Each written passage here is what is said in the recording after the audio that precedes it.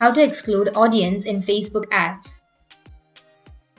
So if you want to exclude audience in Facebook ads, then what you need to do is first make sure that you have a stable internet connection. After that, you just need to simply go with your Facebook ads manager and you need to go and log into your ad manager.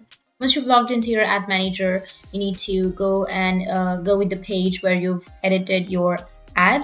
So go with the edit section and under edit section, you will find these options which is uh, you need to scroll down and you'll find an option of audience controls. So under the audience controls or under the audience here you will have age so you can just simply go with age go with edit which is on the right side and then you can select the age you can select 20 if you want to and from here I'll select 13 and after that you can go with gender. If you want to also edit the gender you can go with gender and detail targeting. So here you need to go with edit which is on the right side.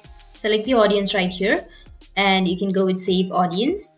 Or under your audience controls you will also have show more options. Here also you can just simply go with uh, the option of exclude these custom audiences. Here you will have the option. So you need to go and search for the audience that you would like to exclude. So search for the audience and then you will have exclude and after that you can go with save or go with next which is on the bottom right and in this way you'll be able to exclude your audiences in facebook ads so that's it. And if you have any questions, feel free to comment below. Thanks for watching.